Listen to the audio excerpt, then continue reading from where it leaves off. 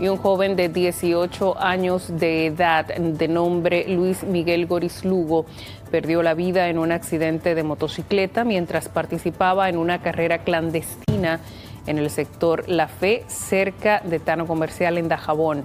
Goris Lugo, residente en la calle Pedro Santana, en el sector norte de la localidad, conducía una motocicleta marca Gato, modelo CG 250 color negro. Luego de este accidente fue trasladado al Hospital Provincial Matías Ramón Mella, donde recibió atención médica.